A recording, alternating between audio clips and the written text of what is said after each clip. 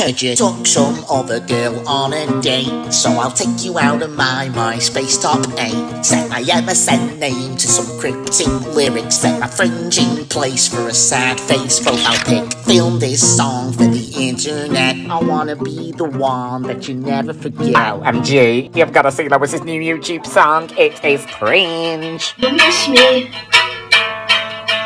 You don't know what you had.